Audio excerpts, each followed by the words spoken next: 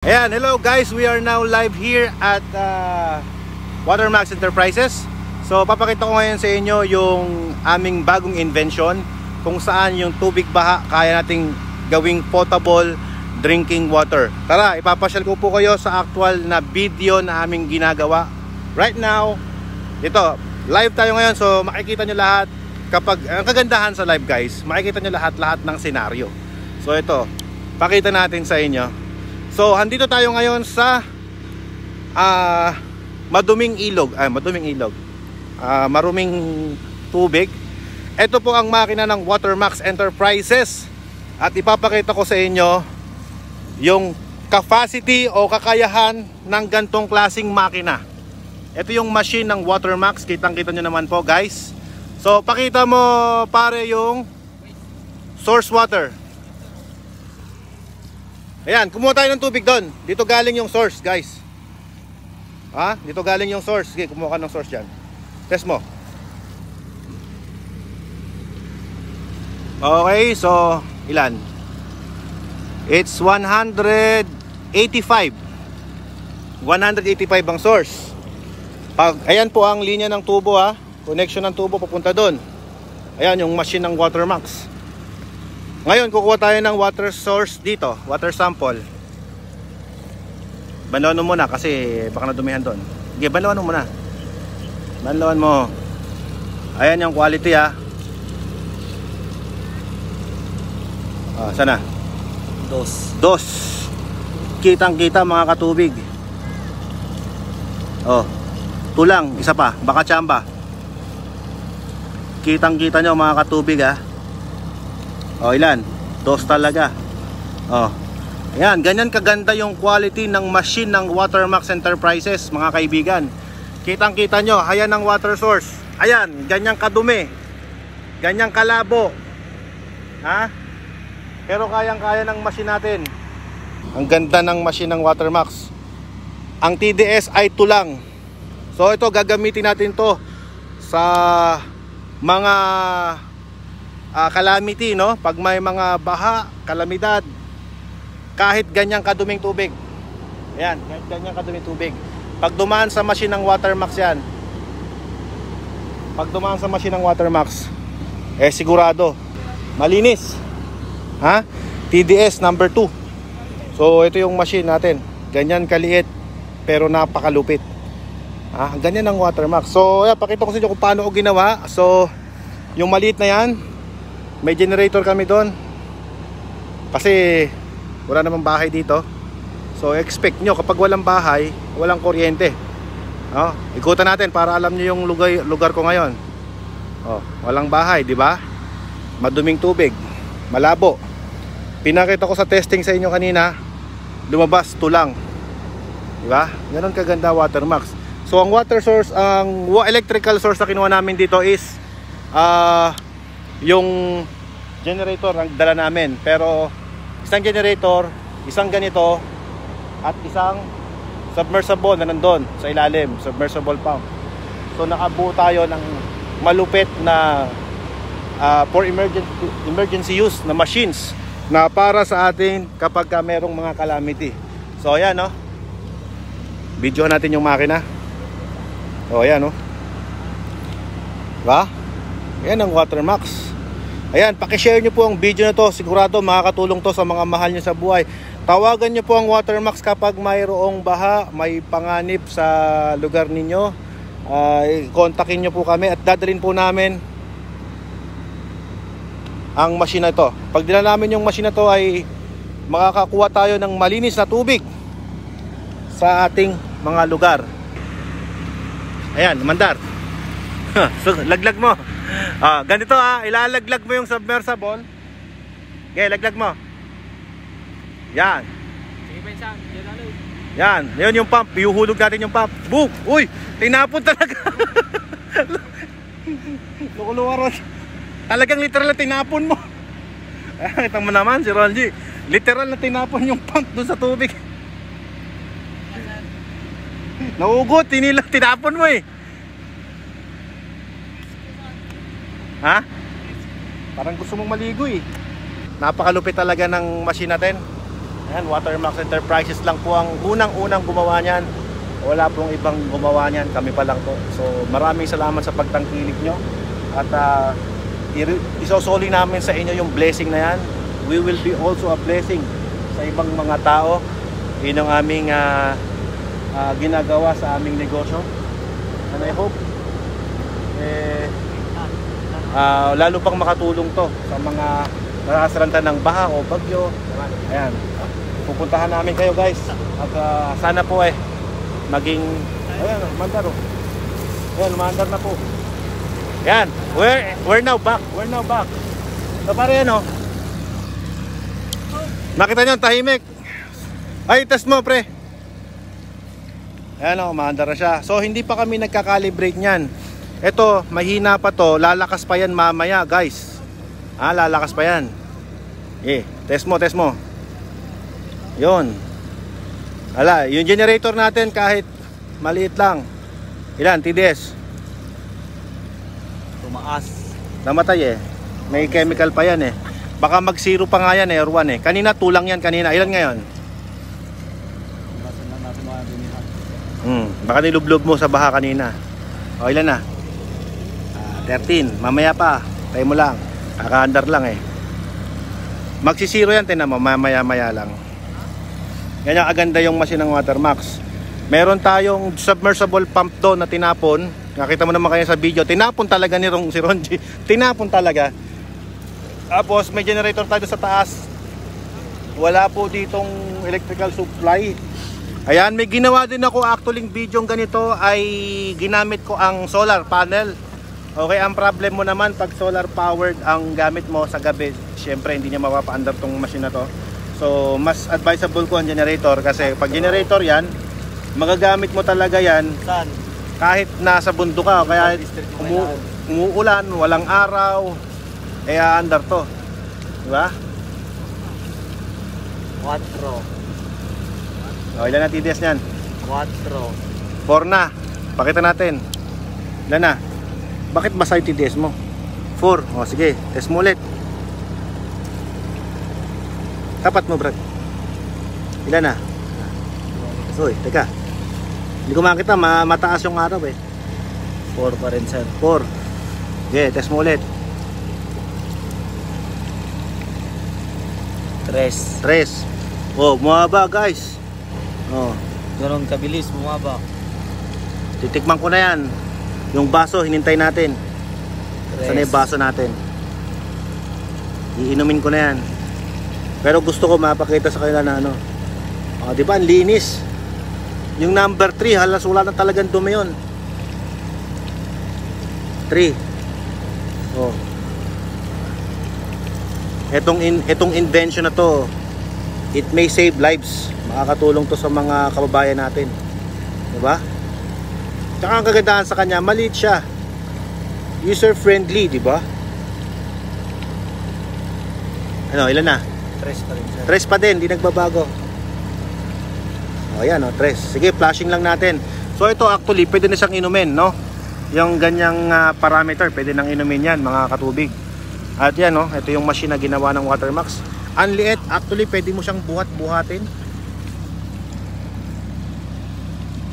Pwede mo siyang, may handle akong nilagay dito, oh. Hmm, mabubuhat mo talaga.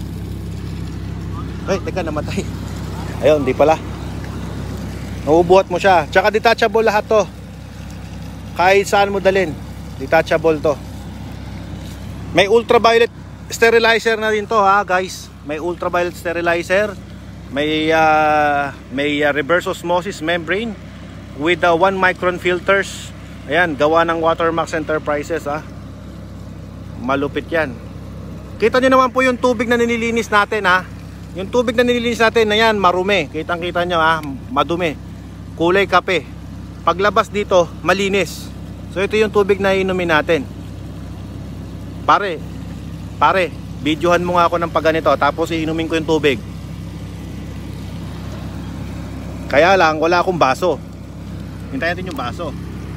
Pare, oh. TDS, TDS muna. Oh, ito ah. Ang 10, o ba, purified water yon. Ang TDS nito, galing doon. Yan. Oh, ilan? Nine. Ah, kasi namatay kanina, diba? Three, four. Oh, yan. 3. Baka mo yung TDS mo. Buka natin inumin. Kakamay ko na. Wala akong baso. Wala pa si Juben. O yung baso. Kakamayin ko na lang mga katubig. Naimas. Masarap. Masarap talaga. Masarap. Tubig niya. Panalo. Pag watermax talaga. Alam mo, safe na safe inumin to. May membrane ka na, may ultraviolet ka pa. Patay ang mikrobyo, pati itlog ng bakterya, DNA, patay lahat. Ganyan kaganda ang invention ng Watermax Enterprises. Tubig na marumi, pinalinis ng Watermax. Oh, yes, first time in the Philippines po na magkaroon tayo ng machine na magagamit natin.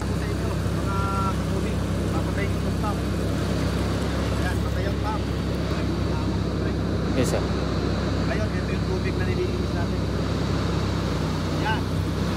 Malabo. O, yan ka na yung baso, dali. Malabo, mga katubig. Malabo yan. Pero pag lumabas dito, napakalinaw. Ayun, tatakot ko yun dito. Yan. Ganun lang. Kasi kapag tinanggal ko na yung power, oh, buhat mo na to, napakagaan na. Ngayon, papaandar natin siya. Ayan. Eto. Eto na yung tubig. Ayan na yung tubig.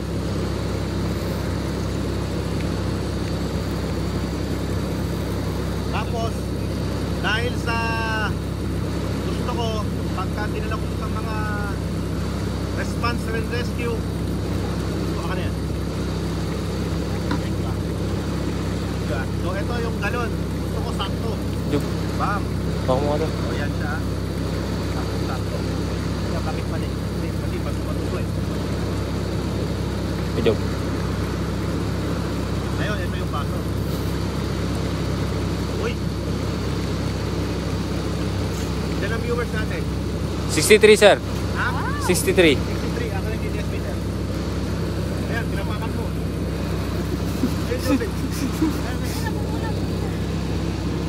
Oh, Kuya Jubin. Hawakan mo to, Kuya Jubin. basong tubig. Four. Four. Ha? Four, TDS. Ha, ulitin natin. Water box lang ang malakas. Tingnan mo ha, yung 10 ppm, purified yun. Diba? Four. Kanina 2 to, diba?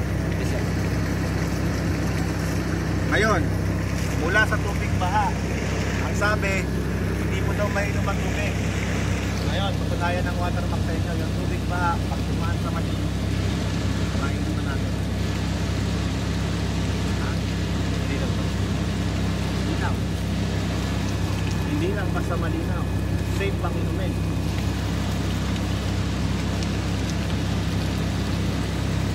Tangima. Masarap.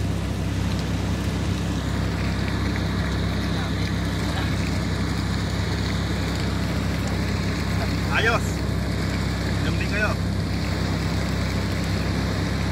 Yung baso. Yung nasa. ah, kita niya ha. Split natin ha. Galing sa tubig pa, iniinom na natin. Malanam. Mananam. Galing sa tubig pa, iniinom na natin. Oh, three. Oh, three. Pakita mo, iniinom ni Anji. Doon, pakita mo. Safe na safe inumin yan, tubig baha eh. Hindi, masarap. Sarap inumin. Di ba? Ganyan, ang technology ng Watermax. Yan, i-share namin yung blessing na to sa mga lugar na tiyatamaan ng kalamidad, bagyo. Maayos, sumutikman? O, Oh, tikman mo. Ayan, titikman din sa isay. Shout out sa ating 91 viewers. Yan, tubig baha. Iinumin po ng ating champion. Bottom soup. Ang sarap niya. Oh, sabi sa'yo eh. Hindi, wala siyang lasa. Yung ayaw ko na tubig. Di, maarte ka sa tubig, di ba? Masarap, di ba? Siyempre, daddy mo ang inventor niyan. Hindi kita papainumin ng hindi maganda. Di ba? Sarap, sarap. Oh, ayan po ah. Yung tubig na galing sa baha. Oh, say. Yung ininom mong tubig ngayon, galing sa ka- galing diyan. galing diyan sa tubig baha. Ha? Bes, ang Watermax Enterprise. Yan. Oh, tama si Saysay oh. Uulit pa yata si Saysay. Uulit pa. Umulit pa talaga. Umulit pa. Oh, yung nap batang napakaselan. Umulit pa. Ang sarap, di ba? Para makatulong po ito sa ating mga kababayan, di ba? Sa ngayon, hindi nyo masyadong na-appreciate kasi wala pang ah, masyadong baha o sakuna nangyayari. Pero nung nasa Tugigaraw kami, na-appreciate namin yung machine na yan. Nung bagyong Ulysses, na-appreciate namin yung machine na yan. Kaya lang hindi ko na-videohan.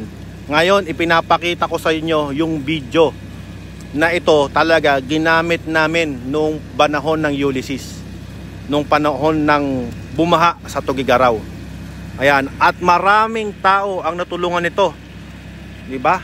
Napakaraming tao natulungan nito. Sa ngayon hindi nyo pa ma-appreciate pero ma-appreciate nyo 'yan once na meron ng baha. Kasi kita nyo, yung tubig na kinukuha namin madumi. Kung gusto nyo malaman kung saan kami kumukuha ng sample ng tubig diyan sa diyan sa tubig na kulay kape na 'yan. Ngayon, pag pumunta diyan, kita mo naman ang linis. Aka na yung baso. Pakita mo yung baso, ilagay mo doon. O yan. Asa isang baso. Papatayin ko muna yung makina ha. Patayin ko yung makina. Hop. Patay. Okay. Kukuha tayo dito sa water source. Napakadali tanggalin ng water source eh. O yan. O, kukuha tayo dyan. Ku kuha ka ng baso. O yan. Hindi, tapo mo yung laman, Brad. Tapo mo yung laman. O yan. Ganyan kadumi. Ha? Ganito kadumi ang baso. Ang, ang baso. Ang tubig na nililinis namin. Ngayon pag duman sa makina, ito na. Ayan o. I-test natin TDS pareho. Dito dito lang, Joven, dito lang. Oh. Ayan muna, oh, ilan? Nilublob mo lahat ah. Tres. Three lang. Oh, ayan. Ilan? 163.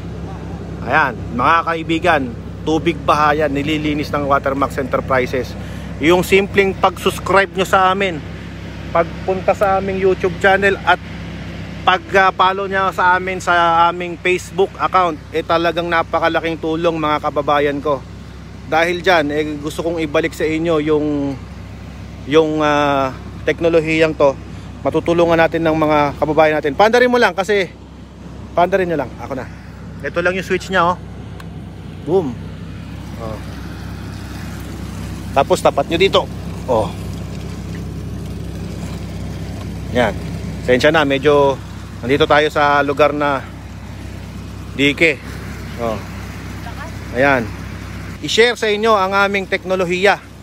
Ha? Sineshare namin sa inyo yung aming technology ng Watermax Enterprises. Oh. Ganda. Kita nyo naman, ano lumabas? Pinakamababang reading natin, 2. 2. Lahat po ng bakterya, lahat ng madumi, lahat ng impurity sa tubig, contaminations, nandun sa tubig na tumatapon na malakas na yon. Kaya yan, pag kumuha ka ng sample dyan, malabo pa rin. Pare, pakita mo nga kumuha ng sample dyan, pakita mo na malabo pa rin yung tumatapon na yan. Ayan yung tumatapon. Yan. O, madumi pa rin. 'Di ba? Pero pag kumuha ka ng sample dito, huwag mo itapon para mako-compare. Yan, yan yung reject water. O, pa o tayo, punuin, pantay lang. O, ito naman yung product. O. 'Di ba? Yan, kayo na, kayo na mag-comment diyan. Sarap maligo sa no? Kayo na ang mag-comment diyan kung papaanong yung maruming tubig, maruming tubig, gawin nating purified water. Partida po yan mga kaya tubig. Itong machine pa lang na inimbento natin na maliit, eh umuubra na para mainom mo yung ganyan. How much more yung malaking machine ng Watermax? Eh, mas malupit yon Di ba? Eh kung ito pa lang, naiinom ko na yung tubig. Ako mismo, yung anak ko, lahat dito, naiinom namin yung tubig. Kung iyon, naiinom namin yung tubig. How much more na hindi natin kayang, na, na mas maiinom natin yung tubig na gawa ng Watermax na machine. Di ba? Diyan sigurado ka na malinis yung makina o yung product ng Watermax kasi ito nga tubig baha eh nalinis ng Watermax eh, yung tubig na marumi na yan. Pakita ko sa inyo kung gaano kadumi. Ayan. Oh. Ayan, hanggang doon, madumi talaga. Kulay kape. Ha? Pag dumaan doon sa Watermax, ayun. Eh, napakalinis. Oh. Diba? Kung yung maruming tubig ay sa mga nagtatanong, marami nagtatanong kasi, sabi nila, Sir, yun po bang uh, tap water, pwedeng gamitin sa water station? Ang sabi ko, yes, pwede. Yun po bang uh, brackish water, pwedeng gamitin sa water station? Ang sagot ko, yes, pwede. Yung nawasa, yung deep well, pwede po ba sa water station? Ang sagot ko, yes, lahat yan pwede. Di ba? Pwede lahat yan. Ba't ka mo? Yung tubig baha nga eh, umubre. oh, tubig na marumi nga umuubre. Yun pang nawasa, ayun pang ano, ayun pang uh, deep well ninyo. Lalong pwede 'yon. Kung ito nga pwede eh, di ba? Kung yung maliit na machine namin kayang magbigay ng malinis na tubig kagaya niyan, malinis at purified, eh how much more yung malalaki, di ba? Okay. Naisip ko to guys kasi ako po ay palagi sa field, okay? Kung hindi ako nagpupunta sa mga field, kung hindi ako nagpupunta sa mga lugar na nangangailangan ng mga tulong, ng mga sakuna, hindi ko maiisip to. Ayan, because of our uh, mga charity works, yung mga ginagawa ting pagtulong sa, sa iba't ibang lugar, nalalaman ko yung pangailangan ng mga tao. Kaya ito, na-realize ko, sabi ko, ito, kailangan, kailangan to. Lalo sa mga barangay na kulang na kulang ang pagkuha ng water source. Kagaya ng pinakita ko sa inyo, Nandito tayo ngayon sa lugar na walang tao. Ayan. May uh, poste ng kuryente pero gumamit tayo ng generator para ipakita sa inyo na gumagana ang machine. Generator lang po gamit ko. Ayan. At naka-invento na rin po tayo ng solar powered control nito, mga katubig. O yan ha, daming viewers oh. Salamat sa mga nanonood ha. Sa mga nag-share, kayo po ang bayani ng Watermax sa lahat ng mga nag-share. Maraming salamat sa inyo. Ayan. Sa mga nanonood, keep on watching. Sa mga nag-share, maraming salamat. Ayan. Out po sa Sir Alfred sa SMACC Water Refilling Station. Cervantes Ilocos Sur, TDS namin 1, Tatak Watermax. Ang sinasabi ko sa inyo. Pag Watermax, TDS 1, di ba? Grabe. Eh, ito nga tubig baha, oh. Di ba? Nalinis natin. Yan ang Tatak Watermax. Oh. Braya, Sir Alfred, sa lahat ba ng package nyo kagaya kayang malinis yung Alcala Water District? Thank you. Yes, lahat ng water district kayang linisin ng Watermax. Eh, ito nga tubig ng baha eh. Baka hindi mo ipapaligo to sa inyo eh, di ba, na Ronji? Ha? Ikaw ba, maliligo ka dyan? Maliligo ka dyan? Ha? Ay, hindi. Pero sa water district natin, naliligo ka. Oh, di ba? Eh, mas madaling linisin yun kaysa yan, di ba? Oh, lahat ng package ng Watermax kayang linisin yung tubig na yan. Oh, 'di ba? Saan ka pa? Watermax na. Okay, tara. Mag-ano tayo? Nangangawit na ako. Anong oras ba? Ilang oras ba ako nagsasalita din eh? Ha? Ayan, so sige, uh, maraming salamat sa mga nag-share, ha, sa mga bumabati. Sa pag-share nyo ng video at pag-follow nyo po sa, sa YouTube channel namin, napakalaking tulong po nun. Paki-subscribe po kami sa YouTube channel namin at din po, paki-follow rin po ang page ng Watermax Enterprises. Because of that, kayo po ang talagang hero namin. Dahil diyan, ibabalik namin sa inyo ang biyaya. So ito po ang isa sa naparaan na naisip ko para makatulong sa mga kababayan natin. Okay guys, uh, see you on my next vlog mga katubig. And uh, oh, oh, oh, oh, oh, oh, oh, guys, guys, guys, guys, ay. Hoy. Taga, yung Bye. Mga...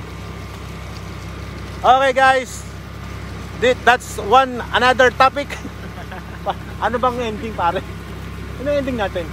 That's all about water station. Ayan, yan. Okay guys, that's all about waters. Welcome to Watermax Enterprises. See you next time. Bye-bye! Kulit!